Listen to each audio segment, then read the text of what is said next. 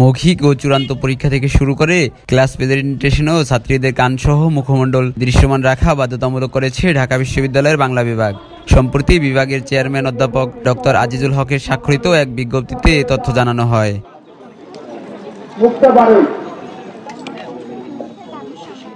এদিকে বিজ্ঞপ্তিটি সামাজিক যোগাযোগ মাধ্যমে ছড়িয়ে পড়লে বাংলা বিভাগের এই সিদ্ধান্তের সমালোচনা করেন অনেকেই।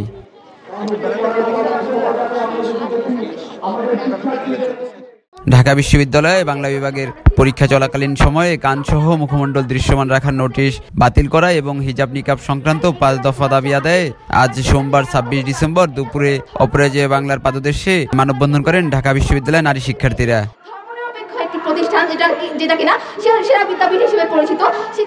মানববন্ধনে বক্তারা বলেন, সম্প্রতি বাংলা বিভাগের পক্ষ থেকে দেওয়া একটি নোটিশ দেওয়া হয়েছে। ওই নোটিশে পরিচয় শনাক্তকরণ প্রক্রিয়ার অজুহাতে সব ধরনের পরীক্ষা ও সংযোগ ক্লাসে বিভাগের সকল শিক্ষার্থীকে কানসহ মুখমণ্ডল দৃশ্যমান রাখার কঠোর নির্দেশনা জারি করা হয়েছে।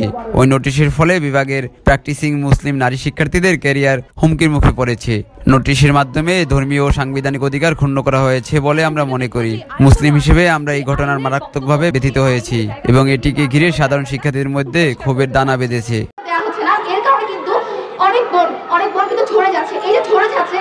এটার মাধ্যমে কিন্তু আমাদের শিক্ষার মৌলিক অধিকার কিন্তু আমাদের থেকে কেড়ে নেওয়া হচ্ছে এই যে শিক্ষার মৌলিক অধিকার ধর্মীয় স্বাধীনতার মৌলিক অধিকার এতগুলো অধিকার কেন আমাদের থেকে ক্ষুণ্ণ করা হবে কোড অফ ক্রিমিনাল প্রসিডিউর, যেটা আঠারোশো আটানব্বই সালে এই আইনে কিন্তু বলা হয়েছে তার আটচল্লিশ ধারায় যে একজন আসামি তাকে যখন সে তাকে যখন ধরতে যাওয়া হবে, যদি পর্দানশীল নারী থাকে, তাহলে তাকে বলে যা, তাকে আগে জানাতে হবে, তাকে সেই সময় দিতে হবে, যাতে সে তার পর্দার অধিকার যাতে রক্ষা করতে পারে, পর্দা যাতে তার ক্ষুণ্ণ না হয়। সেখানে আজকে আমরা কি দেখতে পাচ্ছি আমাদের এই বিশ্ববিদ্যালয়ে এসে?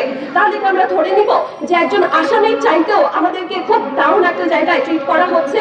বক্তারা আরও বলেন উদ্ভুত পরিস্থিতিতে বিশ্ববিদ্যালয়ের অভিভাবক হিসেবে বিষয়টির সুষ্ঠু সমাধান এবং আমাদের ধর্মীয় সাংবিধানিক অধিকার প্রতিষ্ঠার তাগিদে আমরা পাঁচ দফা দাবি তুলে ধরছি। ধর্ম নিরপেক্ষ শিক্ষা প্রতিষ্ঠানে আমার ধর্মীয় মৌলিক অধিকার কেন ক্ষুণ্ণ করা হবে?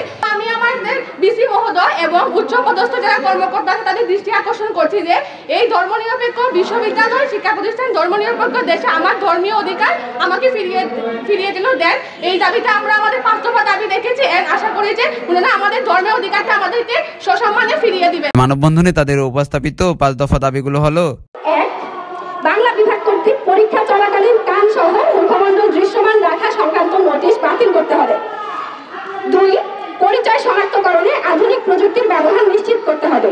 অন্যথায় পরীক্ষার পূর্বে নারী কর্মচারী দ্বারা কিংবা নারী শিক্ষিকার মাধ্যমে আলাদা রুমে হিজাব ও নিকাব পরিহিতাদের পরিচয় শনাক্ত করার ব্যবস্থা চালু করতে হবে। দ্রুততম দ্রুততম সময়ে সকল অনুষদের সকল বিভাগে হিজাব নিকাব পরিধানকারী শিক্ষার্থীদেরকে হেনস্থাকরণ বন্ধে নোটিশ প্রদান করতে হবে।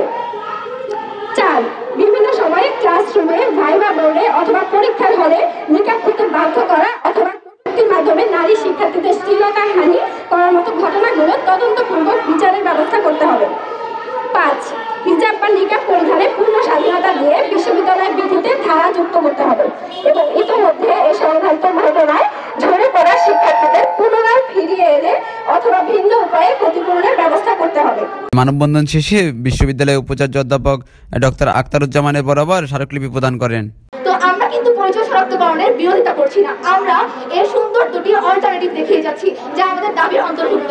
প্রথম অল্টারনেটিভ হচ্ছে আমাদের উন্নত প্রযুক্তির মাধ্যমে আমাদের পরিচয় শনাক্ত করতে হবে। সেটা বায়োমেট্রিক্স হোক বা অন্য কোনো উন্নত প্রযুক্তি হোক ফেস রেকগনিশন বা অন্য কিছু।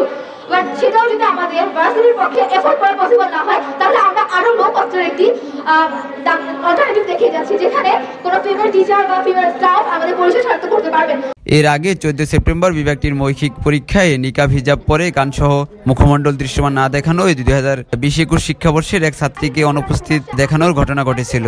ফলে প্রথম সেমিস্টারের মৌখিক পরীক্ষা উপস্থিত হলেও ওই ছাত্রীকে এ কারণে অনুপস্থিত দেখানো হয়। বাংলা ডিপার্টমেন্টের ফার্স্ট ইয়ারই আমার একজন ফ্রেন্ড যে কিনা হচ্ছে নিকাব না খোলার না খোলায় তাকে অ্যাবসেন্ট দেখানো হয়েছে।